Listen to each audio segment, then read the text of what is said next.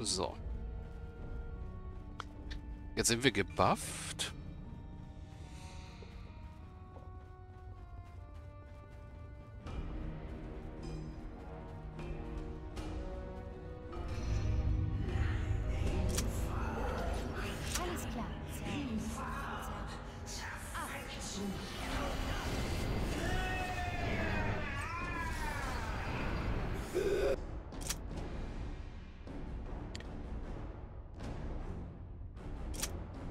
So, jetzt die Räumengeister, die er beschworen hat, weg.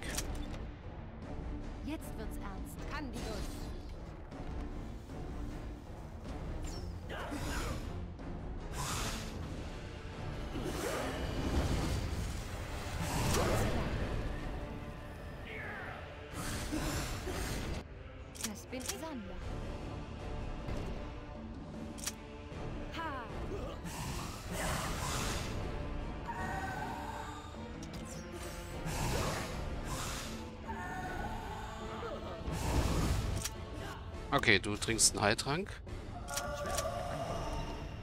Du heilst mal Vorgrim.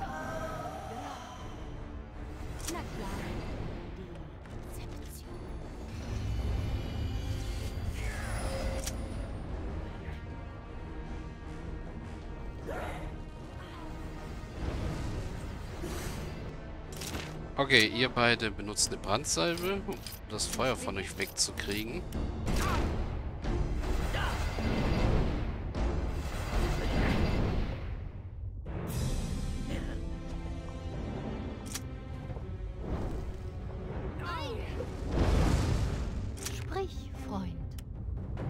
Jetzt haltet ihr euch beide selber balsam.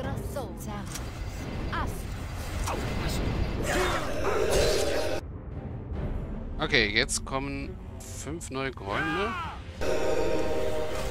Sander. Okay, sind nur vier. Na klar. Ja.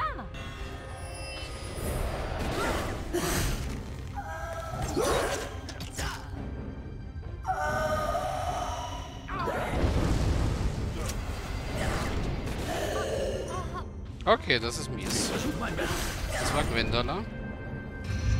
Für Ardo.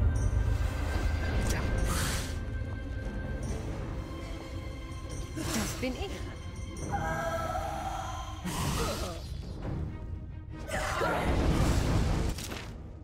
Okay, du trinkst zur Sicherheit einen. Vorgrim trinkt auch einen. Alles klar. Komm schon. Arquatus. Ich versuche mein Bestes.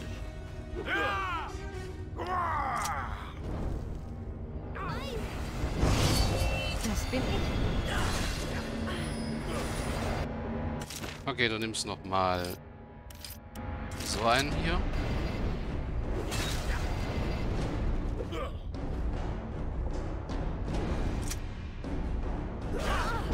Okay. Mal eine Brandsalbe. Äh, nicht eine Brandsalbe. Egal.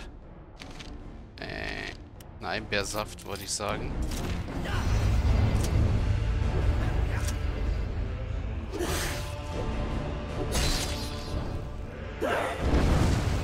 Ja, auf die beiden kannst du ruhig feuern.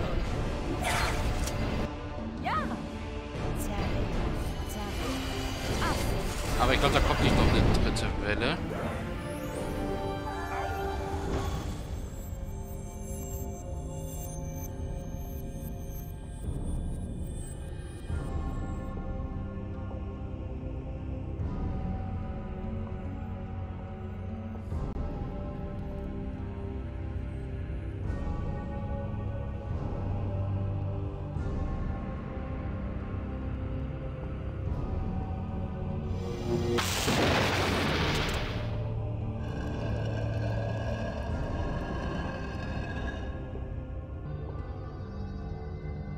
Okay, wir kommen nicht ans Adamantenherz.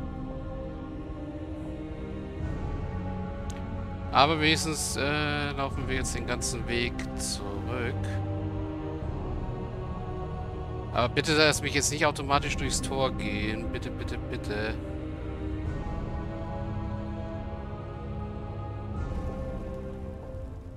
Ah, lässt er mich nicht, Gott sei Dank.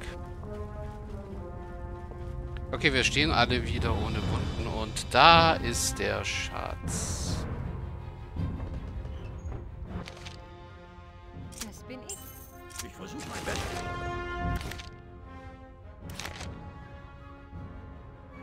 Ja. Letzte Rose Klum und... Ja, das habe ich geschlossen.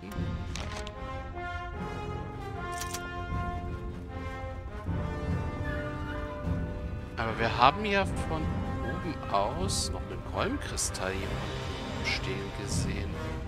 Genau, da hinten.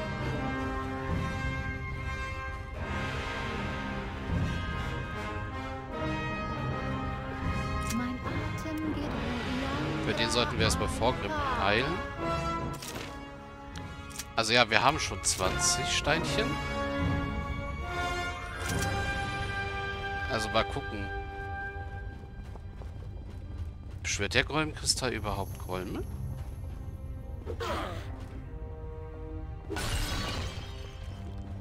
Nein, er macht nur übel Schaden.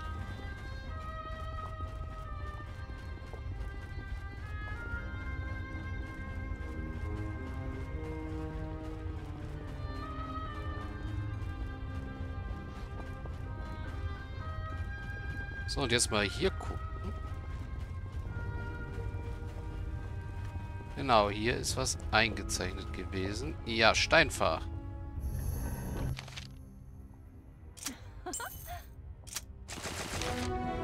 So, der sagenhafte Gräumenschatz ist abgeschlossen. Jetzt können wir lesen. Das war der Gräumenschatz. Wenn das nicht mein Glückstag ist, ich habe doch tatsächlich ein Geheimfach entdeckt, das einen sagenhaften Schatz versteckt hielt. Die Gräume haben hier eine Unmenge an wertvollen Dingen zusammengetragen und jetzt gehören sie mir. Na klar. Eher uns, äh, aber gut. Amulett der Konstitution und ein Ring der Ausdauer. Da haben wir ja den Ring der Ausdauer.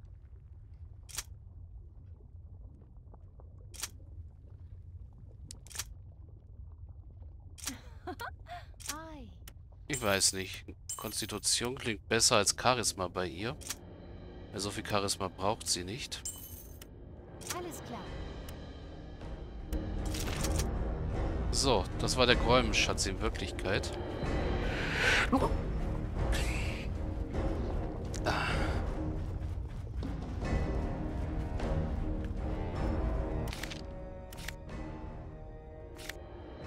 Endlich ist der nervige Kö- Gräumenkönig bei Boron und spukt dort in die anderen in die Suppe.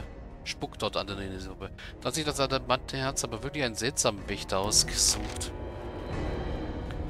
Ich glaube nicht, dass das adamantene Herz das selber war.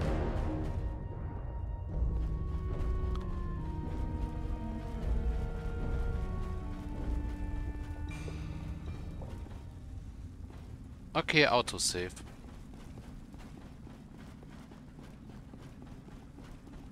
Denn jetzt kommt die große Auflösung.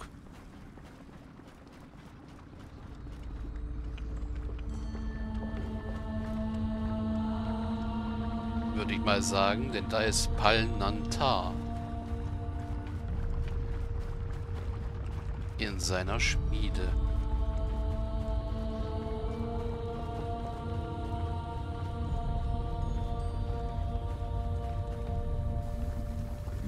Willkommen in der Feuerschmiede. Ich begrüße den Streiter, der nach all den Jahren zu mir vorzudringen vermochte. Ich bin Pal Natar, der letzte Wächter über den Seelenstein, den ihr das adamantene Herz nennt. Eure Suche ist beendet. Meine Wacht ist beendet. Endlich. Ein Tag. Ein großer Tag, von dem die Legenden berichten werden. Gesellt euch zu mir ans Feuer. Ich sehe viele Fragen in euren Augen und will sie beantworten.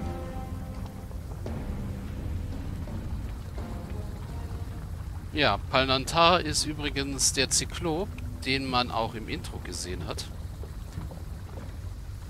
Der hier diese Schmiede betreibt. Mit all den... Sch naja, machen wir es doch selber kurz, bevor wir mit ihm reden.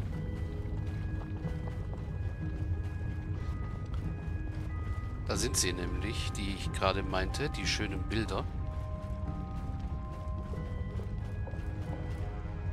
Über die Drachen, die gegeneinander kämpften und die Völker verbrannten. Die Elben, die flohen. Die Zwerge, die den Zorn nicht vergessen konnten.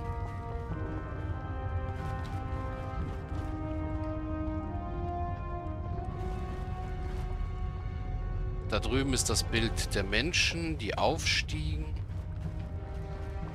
Hier.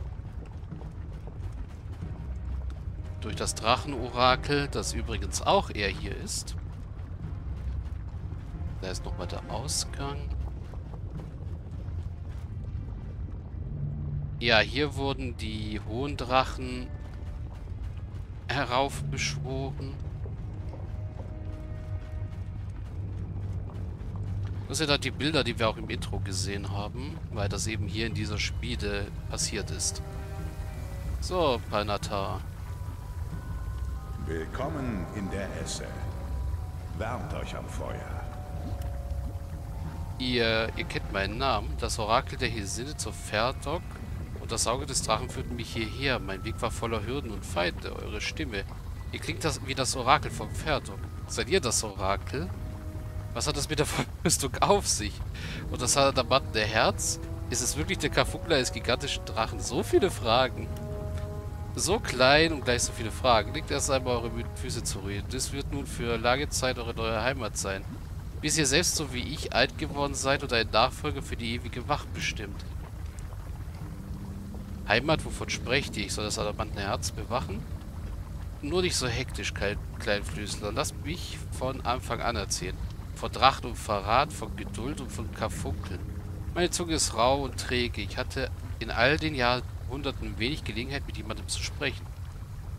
Ich bin der Letzte einer langen Reihe von zyklopischen Wächtern. Unsere Bestimmung war es, ein strahlendes Kleinod zu behüten. Den Karfunkel des alten Drachen Umbrakor. Ihr konntet bereits sein großes Skelett erblicken. Umbrakor, der auch von der Hesidekirche angebetet wird und als einer der fünf Wächter des Weltengleichgewichts gilt?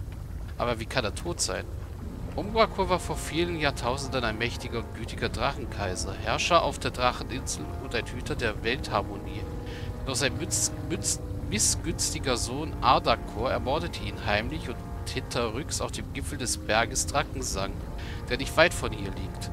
Ardakor gab sich fortan selbst als sein Vater aus. Auf dem Dracheneiland errichtete er ein Tyrannenreich, während Gebeine und Karfunkel Umbrakors bleichten. Ein Frevel und all dies blieb über Jahrtausende unbemerkt. Gierige Gräume raubten das Skelett Umbrakors und versteckten es tief im Ambosgebirge. Stehst du in der Angst vor hasserfüllten Ardakor und seinen Dienern entdeckt zu werden. Doch die Gräumelstadt Korumba ging durch Neid und Habgier und den Krieg gegen die Zwerge zugrunde. Das Adamantenherz war es einst der große Schatz der Gräume? Ja, nach dem Untergang der Gräumelstadt bestallte Ingarosch, Gott von Feuer und Erz, und Zyklopen, den Wächter über die Karfunkel Umbrakors. Und Adakor giert nach diesem Karfunkel. Er sucht ihn, er sucht ihn, sucht ihn seit Jahrtausenden. Ja, Ingarosch wird wahrscheinlich Ingerim und Agro bzw. Agrosch sein. Warum sucht er ihn? Er braucht den Stein, um selbst ewiges Leben zu erlangen, denn er ist nur der Sohn eines Unsterblichen, nicht einer der ihren. Wenn er das adamantene Herz seines Vaters findet, wird sein Triumph endgültig sein. Druckte Drachen werden herrschen, die jüngeren Völker werden brennen und der Weltenkreis wird auseinanderbrechen. Das sollte möglichst nicht geschehen.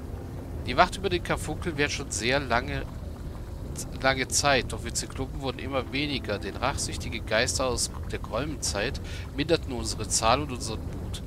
Am Ende blieb nur noch ich zurück, wenn auch gefangen durch die Magie des Gräumenkönigs und Pferd des Steins.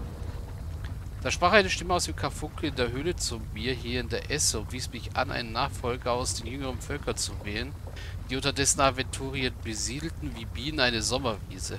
Herzweisheit und Kraft des Nachfolgers mussten geprüft werden. Die Drachenqueste. Ja, so nennt ihr sie. Ich übergab es. Ich, ich übergab. Es mag acht Jahrhunderte her sein, kleinfüßigen Dienern der göttlichen Schlange das Orakel, durch dessen Aufgaben ein würdiger Wächter bestimmt werden sollte. Nur er sollte die Karfunkelhöhle erreichen, kein anderer, kein Diener des Drachen darf je hierher gelangen. Neunmal las ich aus den Bildern in Ubakors Karfunkelstein. Neunmal sprach ich durch die Statue des Orakels. Neunmal hoffte ich, von der Magie des Gräubenkönigs befreit zu werden. Doch erst das zehnte Mal brachte den ersehnten Nachfolger, euch,